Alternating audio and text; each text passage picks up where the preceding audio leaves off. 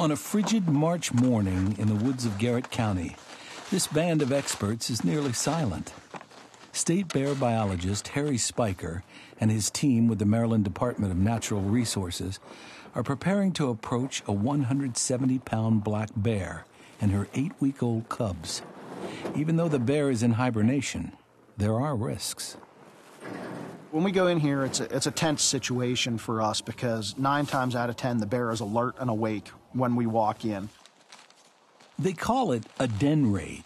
First, Harry will shoot the mother bear, or sow, with a tranquilizer dart to knock her unconscious. Only then will the team move in to count the cubs and assess their health.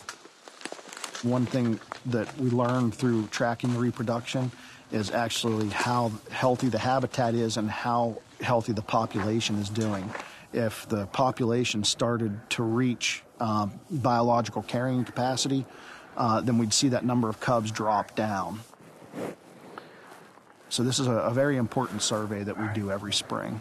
Harry's team is moving slowly and deliberately to avoid startling the sow. An unlikely worst case scenario is when a sow runs, leaving the den and her cubs behind. We're in that bear's living room right here, and uh, that bear can smell us, can hear us, see us coming. The brush is thick and noisy, and the sow senses she has visitors. Harry manages to hit her in the shoulder before she takes off from the den.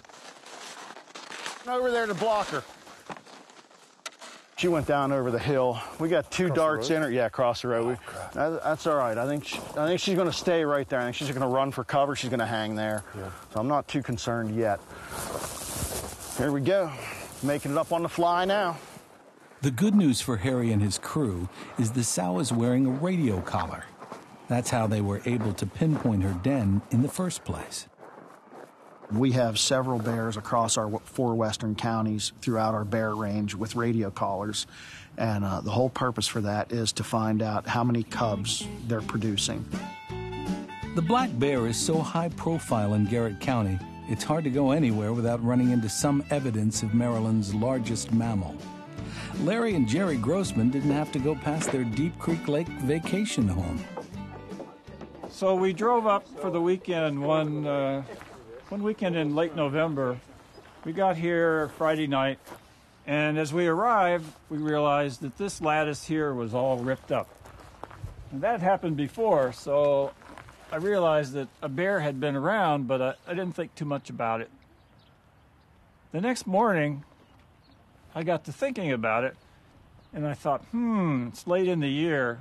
I wonder.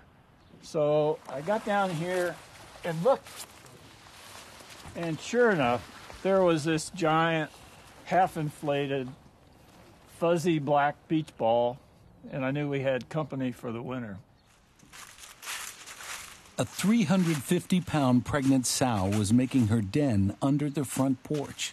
The Grossmans called Maryland's Bear Hotline and connected with Harry Spiker, who told them it was too dangerous to move her before she gave birth.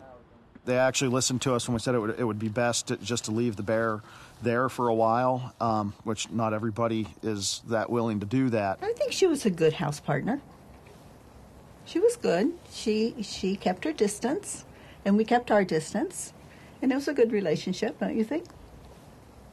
Oh, sure. A few months later, it became a long distance relationship. The Grossmans watched from a safe distance as Harry's team evicted the sow and her cubs and moved them to the woods. The claws is really what I had seen. That's what you remember. That's what I remember. Yes. yes. Yeah, it's pretty interesting. That's a once in a lifetime experience for us. Black bears are native to Maryland, but most were killed off when pre colonial settlers arrived. But about 30 years ago, the species made a comeback. Mike Sawyers, outdoors editor for Cumberland Times News, remembers it well. It still took a while for uh, the average person to start seeing bears in Western Maryland. But once they started to see them, uh, we started to get calls here at the paper, and there was a real wow factor involved. The Times News started a weekly column, Bear Watch, devoted to tracking sightings until there just became too many to print. Bear Watch is mostly made up of highway mortality of bears, and they've been hit on just about every highway in the two far western counties. As the bear population grows, adventurous young bears move further east each year, looking for new territory among the tract housing and congestion of central Maryland.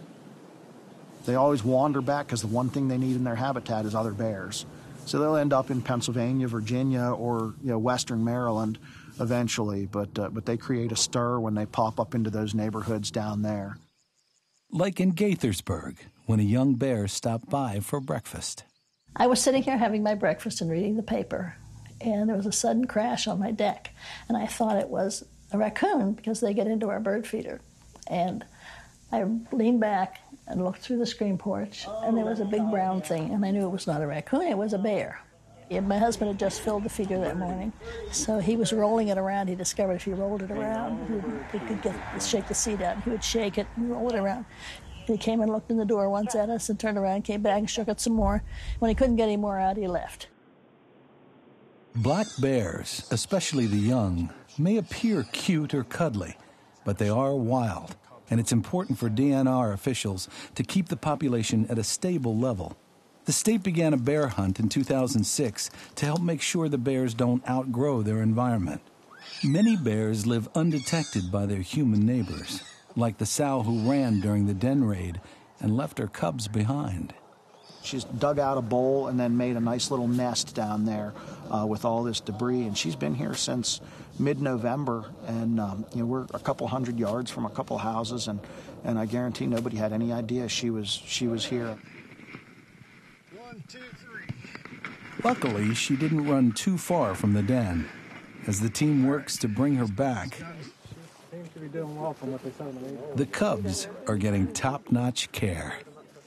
These cubs, they weigh uh, five and five and a half pounds. The veterinary staff is here and they're, they're getting temperature, um, you know, basically just checking the vitals to make sure the cubs are in good health, and, and these guys look great. The sow is also due for a checkup. Chest, 37 and a half. Is that all the measurements? Uh, we got that one already. And it's time for a new radio collar.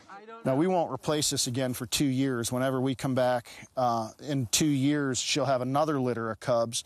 That's when we'll change the collar. And this one, I guarantee, will be chewed like crazy from the cubs that she's got now. One, two, three. After about an hour, it's time to return the cubs to the den before their mother wakes up. There you go. I got it. Pull the basket. Okay. They get a dab of Vicks VapoRub before they're carefully nestled in with mom. The Vicks masks human scent. Um, she'll wake up, she'll lick it off of the cubs, and life is good. Okay, here comes number three.